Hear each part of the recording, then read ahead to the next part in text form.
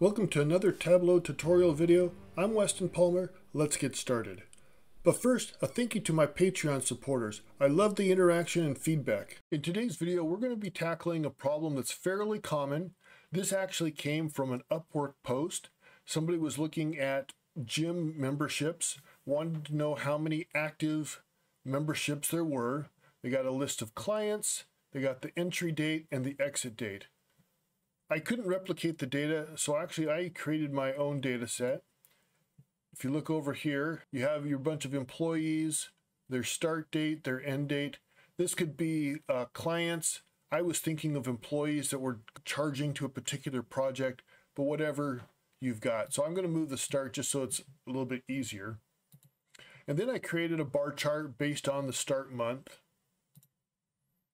And this is what you end up with. And that's not what you want at all, right? You want these guys that have started in January to show as active until they're no longer, till their end date.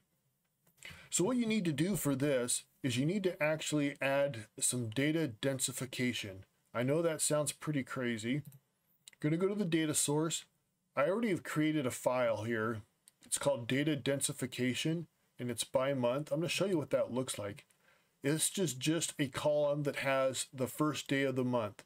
This actually goes out a couple years. You could go, I've done it before where it goes out, you know, 30 or 40 years.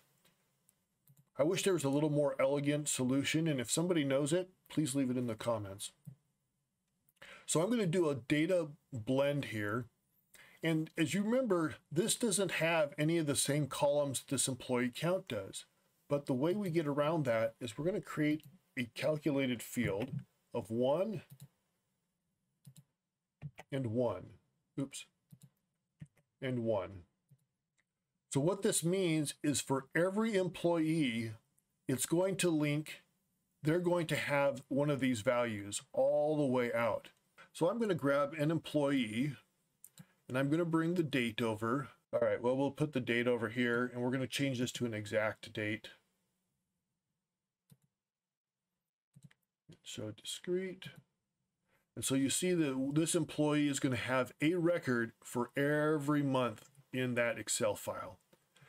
Now, because it is a data blend, or this is a logistical join, sorry, Tableau knows when to incorporate that level of detail. So if you're just using things that have from the employee count, you're not going to end up with, I don't know how many it is, 60 records it looks like.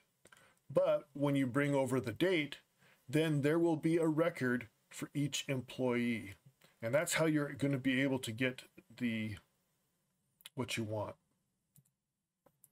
So I'm going to now duplicate this. And I'm going to bring over the date. I'm going to replace the existing one. I'm going to change this to, this is a little messy. I'm going to change this to month, get rid of that. And now see here it goes, it says, okay, in January or whatever date this is, January 2021, we have 17 employees. And they have that all the way through because we said for every employee, we're going to match the date. So now what we need to do is we just need to put in a filter that's going to say that it, the employee is active or not.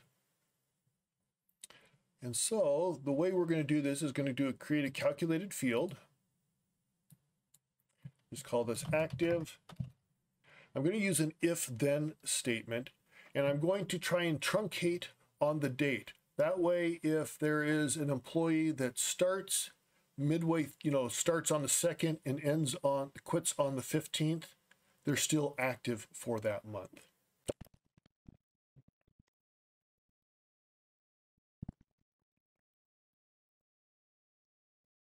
Okay, so we have your if then. So we're looking at the start date. The start date needs to be less than or equal to the date, and that's the different months. And then the end date, oh, I got these wrong. Let's see here, has to be greater than. So you want your end date to be greater than the current month. And if it is, it'll be active. And so let's just put the active on the color to see what happens. And you can see active and inactive. And we're going to actually just switch this around so it's a little bit easier to read. And now let's bring that to our dashboard. We're not going to, we're going to get rid of this, but we're going to bring over this one here. And actually, I'm already worried about this. This is not going to be correct because we have several that should still be active even after May 1st of 2022. And the reason we don't is because of these nulls. And when you have a null, it screws things up and it returns null. So we need to edit it, edit that formula. So we're going to add another condition here, another else if. Okay, you don't actually have to add the equals true here, but I like to do that to just be very explicit. So now we're saying, okay, if it has a start date, it has to have, the employee has to have a start date. If they have a start date, but there's no end date, then that means they're still active. So let's go ahead. I'm going to press apply and we should see this impact already. Okay, there we go.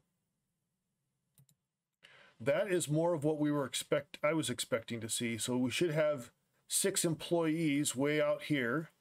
So we've got one, two, three, four, five, six. That's how you get the active employees when all you have is a start date and an end date. I hope you'll check out these other cool videos that I've selected for you. Let me know what you think in the comments below.